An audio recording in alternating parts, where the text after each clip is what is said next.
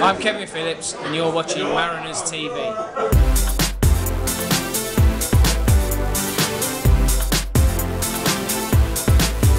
Well, James, you're the player of the month for November. What's your reaction to that?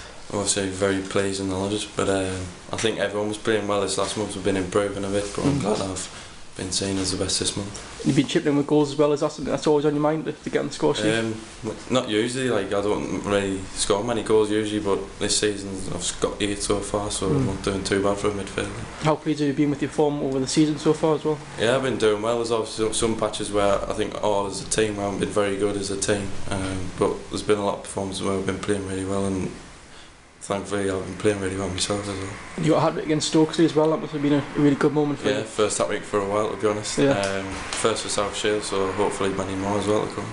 And what was your favourite goal so far in the season? What do you say? Um, probably has to be Tow Law. We won at home, I think it was 5 1. I scored Mm. the last one and just it 40 yard, 30, 40 yard shot. have you ever scored one better than that? You reckon?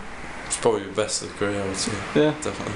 And you played quite a few different positions as well, like right back, right, Right back, midfield, right. centre midfield. Yeah. So what would you say is your favourite one? Um, I think I've been playing my best on the right. I Mm. think that's where I've been scoring most of my goals, so I think that's where I'm more effective for the team, really. And you always tend to get in the right position to score goals as well. Is that something that's always sort of you're thinking about? You're always looking to get in think that. just got to um, sort of anticipate what's going to happen and obviously have confidence in your forwards link up with you and obviously be in the right position to score. And you got Tow Law on next again, haven't you? So what do you th- make of that game? Um, hopefully score a goal as good as last Aye. time, but um, hopefully it's just three points we can get.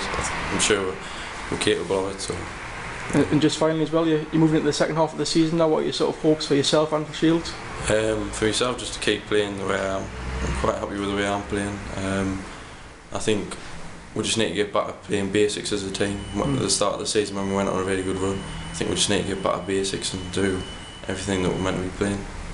I'm pleased for James, another lad. You know, he's, he's done well. Got a hat-trick on Saturday. Yeah. Um, so I'm pleased for James, and yeah, we've got, got a lot of good young players at, at the club. You know, and um, obviously they are going to be, make mistakes and that from time to time with, with being young, but as long as they learn from the mistakes. But James has been fantastic since he's come to the club. You know, he's got a few goals for. Uh, he's a good player. He's a good lad. You know, I mean, he works hard for you, and he's uh, he's, a, he's, a, he's a good lad to have around the place.